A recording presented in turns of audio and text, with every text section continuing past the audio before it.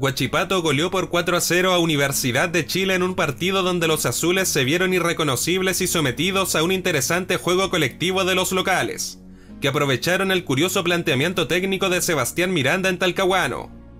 Este video es patrocinado por OneFootball, la mejor aplicación de fútbol donde podrás encontrar las estadísticas en vivo y noticias de tus equipos favoritos. Además es una aplicación 100% gratuita disponible para Android y iOS. Ya sabes, descarga OneFootball con el link que te dejo abajo en la descripción del video. Este video llega gracias a OneXBet, la casa de apuestas más confiable del mundo. Realiza las apuestas que quieras en fútbol y en una infinidad de deportes más.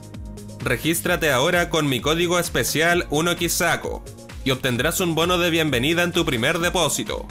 Te dejo el link y mi código especial abajo en la descripción del video y es que el técnico de los azules se decidió por parar un once alternativo con el objetivo de guardar a sus titulares para la vuelta de las semifinales de Copa Chile ante Unión Española.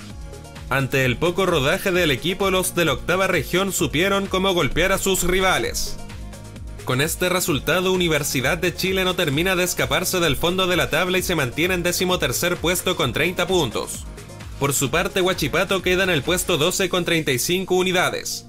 Con este escenario no corre riesgo de descender a Primera B ni tampoco tiene chances de clasificar alguna Copa Internacional.